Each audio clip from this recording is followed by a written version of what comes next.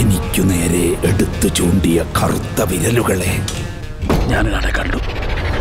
കണ്ണുള്ളവരാരും കാണാത്തൊരു കൊലപാതകയെ കണ്ണില്ലാത്ത ഇവൻ മാത്രം കണ്ടു. നടന വിസ്മയം മോഹൻലാൽ നായകനായ blockbuster crime thriller Priyadarshan ചിത്രം. ഒപ്പം